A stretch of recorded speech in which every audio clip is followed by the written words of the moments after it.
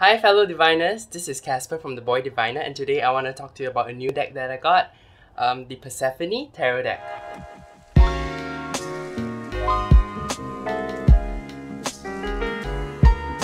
Alright, so this tarot deck came with um, the deck itself with a really nice box. Don't know if you can see that, the light is quite uh, shiny. Alright, great. What beautiful art. And then this is the book that came with it. It's really nice and matte. I really like the book and it's literally a little white book. It, it talks about um the Greek mythology. So basically um I'm not really familiar with the Greek pantheon, but I I felt called to this deck so I, I bought it. Okay, basically the truth is I was ordering from Little Red Tarot um because you know shipping from different different providers in the US, especially the indie providers, are, is really expensive. And Little Red Tarot they allow they allow us to basically bundle up decks together and ship it at one price. So buying one deck didn't make sense. Buying two made more sense, and buying three made the most sense. So I bought this was the third deck. I was deciding between this one and the Prisma Visions, and I and I felt called to work with um, the Greek Pantheon, and that's why I bought this one. It also comes with a little cute uh, pouch that I'll be keeping my deck in along with the box. I'm not gonna take it off the box. So without further ado, I'm gonna go ahead and open the box up and take a look at the cards. Alright, um, one thing about the deck as well, it came with a wrongly named um, Zeus card, but the artist actually sent out a updated version, and that's what, what, what we have in the deck. Of course, it's not the unboxing because I, I couldn't help myself and I, I just opened it almost immediately once it came. So, well, that's on me. So, um, the Persephone Tarot is actually already, uh, created by the creator of the uh, Circle Tarot. I'm not too sure if you know about that that tarot deck. The Circle Tarot is really quite um, popular and I already finished um, the first run. Let me... Marissa? Marissa is the creator Marissa De La Pena. Okay, okay. Circle Tarot at, on, on Instagram, basically. So I like her art, and she has a, a book that she illustrated with a writer coming out soon. So you might want to check that out. Okay, so first maybe I'll cover the box, actually, the box. This is an ordinary tuck box, but I, I like it because it has an extra fold.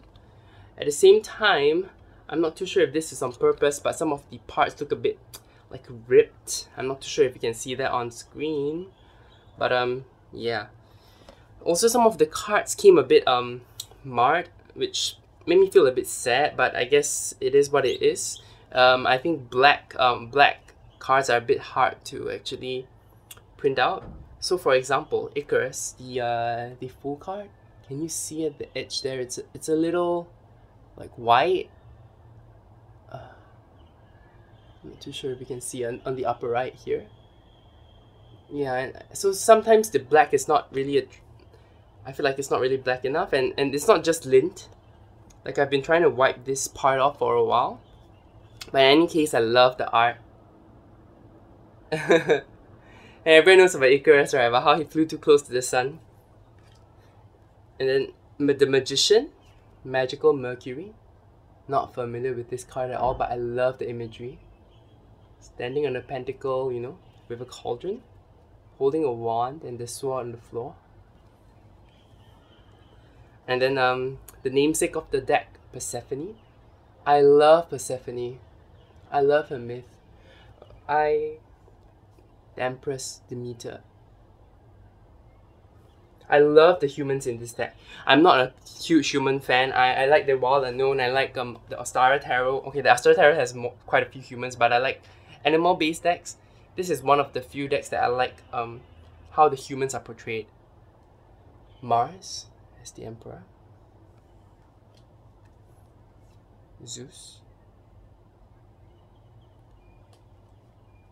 And then one of the few white cards in the, I think the only pure white background card, Lovers, the Cupid and Psyche. Karkinos is the chariot. Diana, the huntress. Gorgeous. Also, the deck came a bit.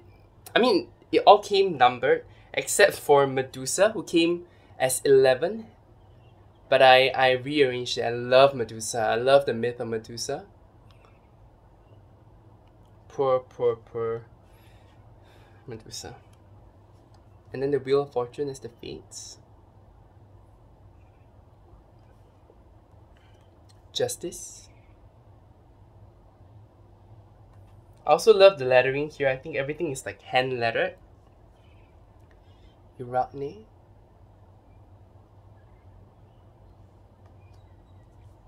And then death. Life coming out of um the dead, right? New life. The nectar of ambrosia.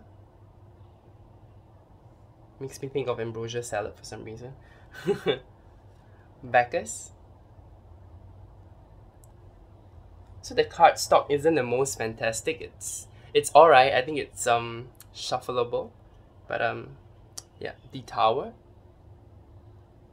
Again, I'm not too sure if you can see, but there are like white specks, and I guess I mean some of it is lint, some of it is the printing, but overall I still love the deck. It's it's just a bit um expensive.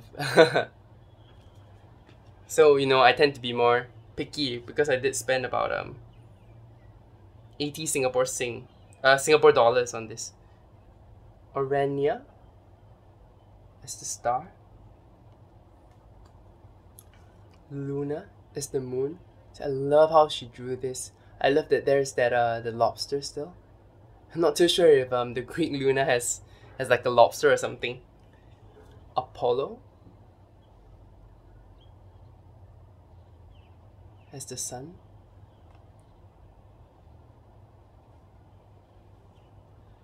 And then Pluto.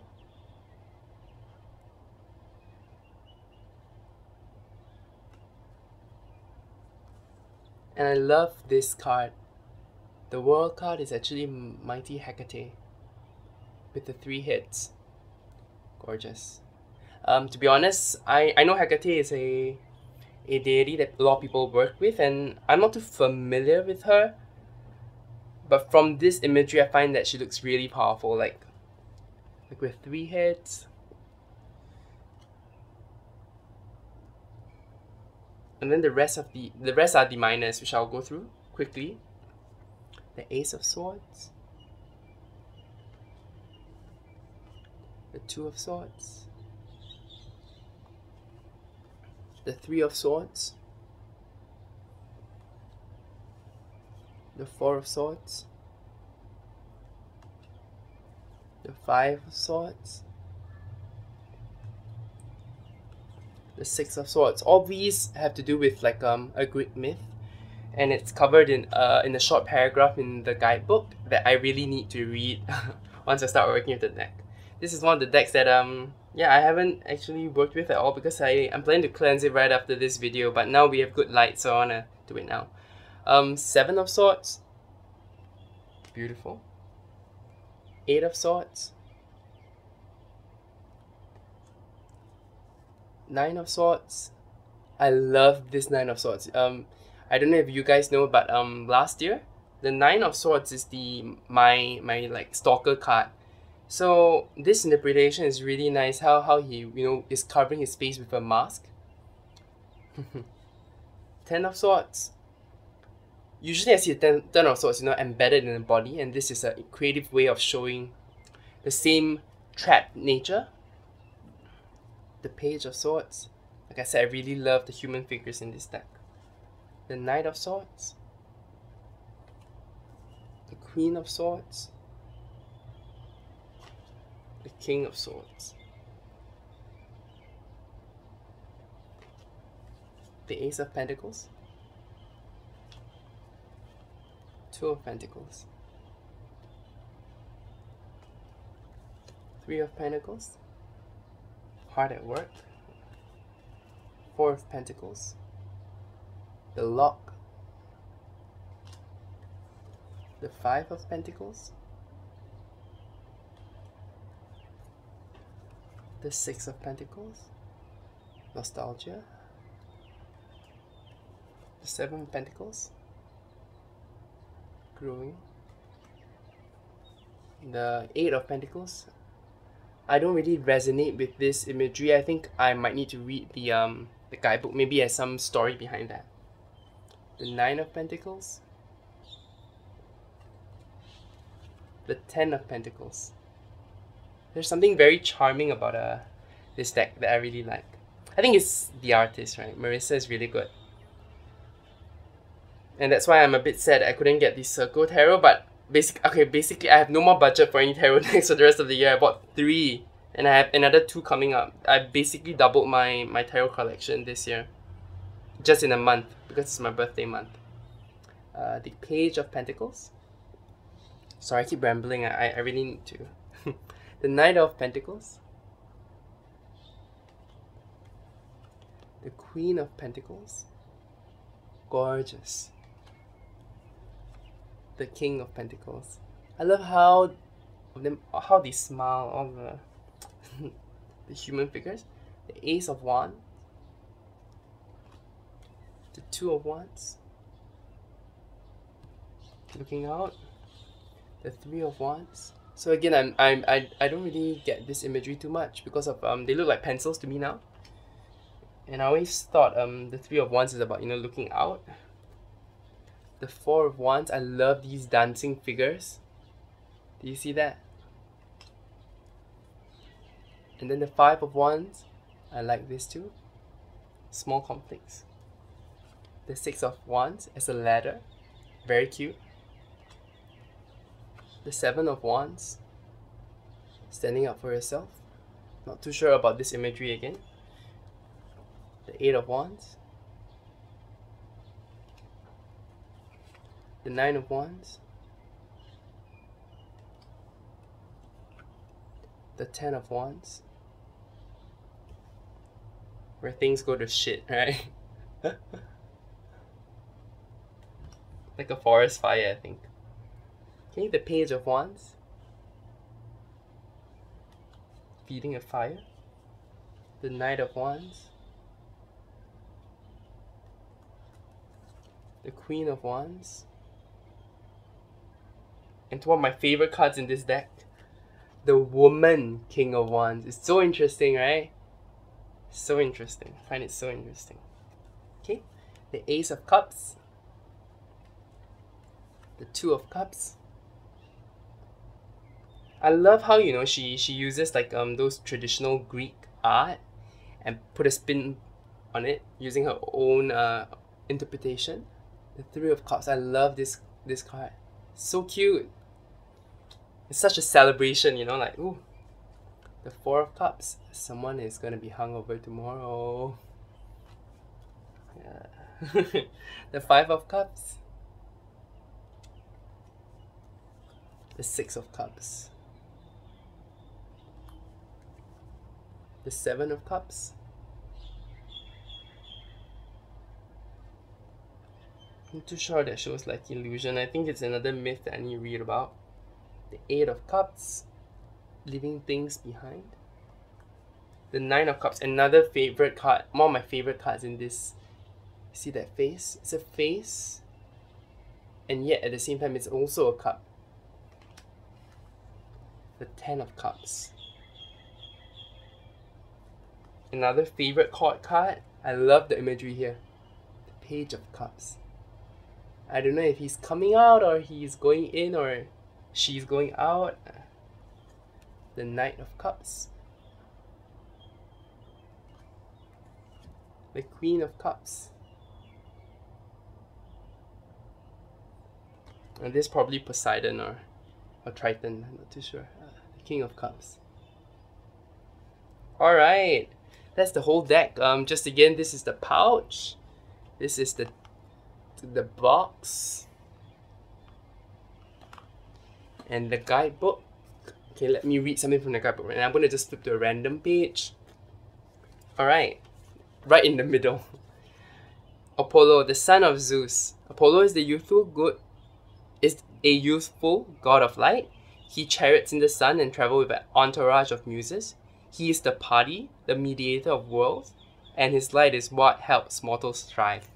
Alright, great. What a great write up. The earth underneath altogether unique. Alright, it's a great deck, Marissa. Um, again, I, I paid for this deck. Something that I find a bit strange is that, um, okay, not strange, but something I'm not used to is working with reversals when the backs are not uh, reversible. And um, so I was thinking I wasn't going to use this deck as a reverse deck. Um, but the tarot deck actually provides reversals, like reverse meanings. So interesting, right? So I guess um that's how it's supposed to work. And even if we pick up a reverse card, we just accept it or something. I, I'm not sure how that works. Again, um, I feel like um, I should also maybe etch this deck in black. I think it'll look much better. So once I start working with this deck, maybe I'll consider doing that. Alright? I hope this was an enjoyable walkthrough. I haven't seen anyone do a full, like proper walkthrough of the deck, so I, I thought I would do that since I got the deck. Um, and I hope you enjoyed this. Yeah, bye. Take care.